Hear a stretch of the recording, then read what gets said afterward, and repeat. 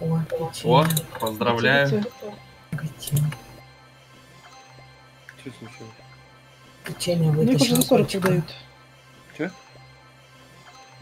Печенье вытащила котика. А, эти-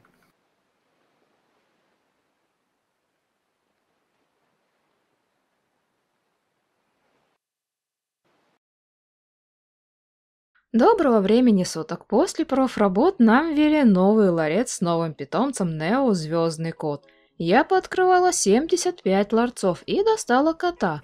Значит, посмотрим на сам дроп и на кота, нужен ли он вообще. С ларцов падали анимаги, векселя, топливо для глайдера, печати судьбы в упаковке, в упаковке руны закройщика, персональные трехдневные сиоли, неперсональные кирки на 1000 очков работы, катализаторы, буровые установки и так далее. Где-то примерно тысяч на 15 дропа, не считая самого кота, который мог как выпасть, так и нет. Окупается ли ларец? Да, кому как повезет. Мне повезло. Мне вполне достаточно того, что упали сиоли, буровые и вот это все остальное. А еще в придачу и долгожданный для меня питомец с броней. Покупать ли сам ларец или нет? Я всегда говорю так. Если вы готовы потратиться и не получить с этого ничего, то покупайте ларцы. Если окупилось или, не дай бог, принесло прибыль, это круто. В момент открытия серверов КТ по цене начинались от 50 тысяч. И кто-то даже его купил, видимо, поторопившись. Сейчас цена падает, ларцы многие открывают и достают питомцев. Если вам нужен сам кот, то подождите немного. Цена опустится и заберете с аукциона. Если вы хотите кота продать, то прямо сейчас цена уже опустилась до 20 тысяч. Можно оставить питомца и продать чуть позднее. Лично мне внешний кот понравился. Интересная кошачья анимация, броня невидимая и не мешает, за что спасибо. Скорость кота, как и у всех стандартных питомцев, базовая 11,5.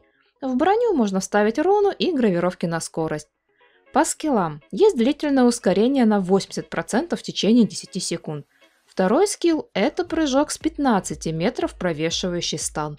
Далее прорыв в течение 3 секунд несетесь вперед в инвизе, поворачивать и как-то управлять котом в это время нельзя.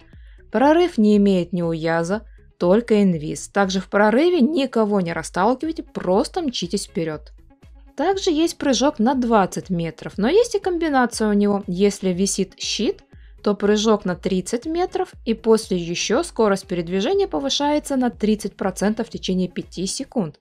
И последний скилл – это звездный щит. Работает наподобие черного феникса. Провешивается на 5 секунд. Вас бьют, но вместо хп тратится ваша мана.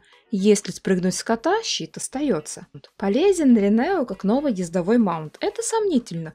У нас есть фуксория с двумя укусами и прыжком с инвизом. У нас есть тигр с укусами, инвизом и неуязом. Нео хоть и имеет для того же Милика укус со станом, но нет управляемого инвиза. Есть как-то полезный щит, выжигающий у вас ману. Если кратко, быстрый, красивый и в чем-то полезный маунт. Если найдете ему применение, покупайте. А так у нас есть множество уже нужных и полезных маунтов, которые этот никак не заменит. Цена на аукционе у них невысокая, можно и хилки своей подарить, пусть порадуется. Расскажите, как вам новый код? Мне лично он нравится просто по факту своей красивости. Пишите ваше мнение, спасибо за ваше внимание и до новых встреч!